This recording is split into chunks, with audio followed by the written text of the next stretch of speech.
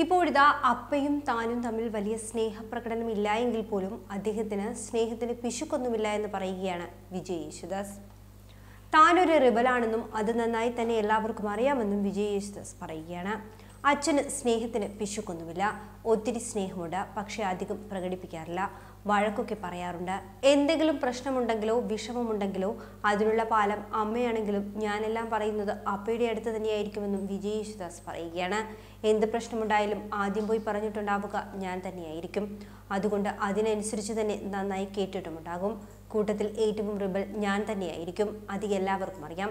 പക്ഷേ കോളേജ് കാലം തൊട്ട് തന്നെ ഒരു കാര്യവും അവരുടെ അടുത്ത് അങ്ങനെ ഒളിച്ചു വെക്കാറൊന്നുമില്ല. അതുകൊണ്ട് തന്നെ അവർക്കെന്നെ നന്നായിട്ട് അറിയാം. ദൈവവിശ്വാസത്തിന് ഞാനൊരു പോസിറ്റീവ് ചിന്ത എന്ന രീതിയിലാണ് കാണുന്നത് എന്നും വിജയേശുദാസ് പറയുകയാണ്.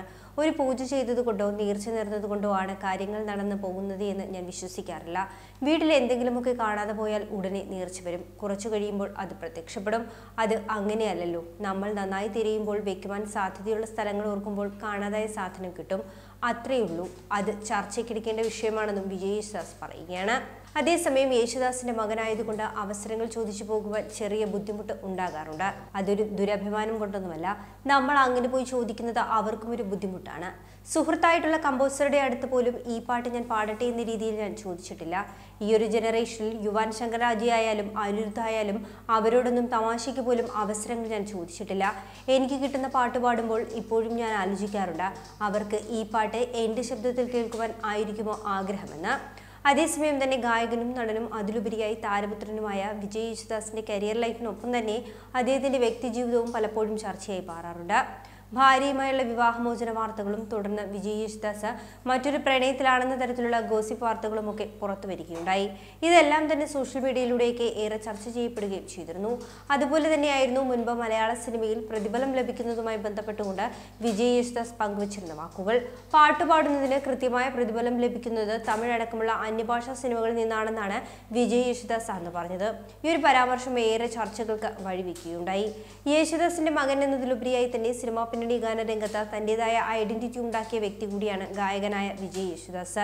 ഗായകൻ എന്ന നിലയിൽ മാത്രമല്ല നടനായും വിജയ് യേശുദാസ് വെള്ളിത്തിരയിൽ തിളങ്ങിയിട്ടുണ്ട്. രണ്ടായിരത്തി പത്തിൽ പുറത്തിറങ്ങിയ ബാലയും മുക്തയും അഭിനയിച്ച അവൻ എന്ന മലയാള ചിത്രത്തിൽ വിജയ് യേശുദാസ് അഭിനയിച്ചിരുന്നു. ധനുഷ് നായകനായി എത്തിയ തമിഴ് ചിത്രം മാരിയിലെ വിജയ് യേശുദാസിന്റെ വില്ലൻ കഥാപാത്രവും ഏറെ ശ്രദ്ധിക്കപ്പെട്ടിരുന്നു. തുടർന്ന് തമിഴ് ചിത്രമായ പടയവീരനിലും പ്രധാന വേഷത്തിലെത്തിയ വിജയ് യേശുദാസ് പ്രേക്ഷകരുടെ കൈയടി നേടിയെടുത്തു.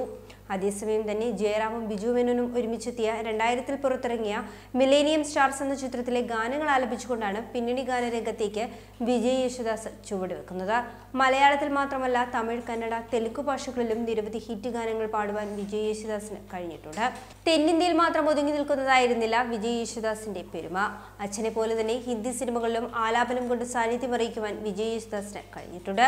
നിരവധി പുരസ്കാരങ്ങളും വിജയ് യേശുദാസിനെ തേടിയെത്തിയിട്ടുണ്ട്. രണ്ടായിരത്തി ഏഴിൽ നിവേദ്യം എന്ന വിനു മോഹൻ നായകനായി എത്തിയ ചിത്രത്തിലെ കോലക്കുഴൽ വിളികേട്ടോ രണ്ടായിരത്തി പന്ത്രണ്ടിൽ മോഹൻലാൽ നായകൻ വേഷങ്ങളിലെത്തിയ ഗ്രാൻഡ് മാസ്റ്ററിലെ അകലെയോ നീ സ്പിരിറ്റിലെ മഴ കൊണ്ട് മാത്രം എന്നീ ഗാനങ്ങൾക്കും. രണ്ടായിരത്തി പതിനെട്ടിൽ ജോജു ജോർജ് നായകനായി എത്തിയ ജോസഫിലെ പൂമുത്തോള എന്ന ഗാനത്തിനും വിജയ് യേശുദാസിന് മികച്ച ഗായകനുള്ള സംസ്ഥാന ചലച്ചിത്ര പുരസ്കാരം ലഭിച്ചിട്ടുണ്ട്. ഇതിനു പുറമെ മറ്റ് നിരവധി പുരസ്കാരങ്ങളും വിജയ് യേശുദാസ് എന്ന ഗായകനെ തേടിയെത്തിയിട്ടുണ്ട്. കൂടുതൽ വാർത്തകൾക്കായി ബി ഫോർ ബ്ലേസ് ഫോളോ ചെയ്യൂ സബ്സ്ക്രൈബ് ചെയ്യൂ.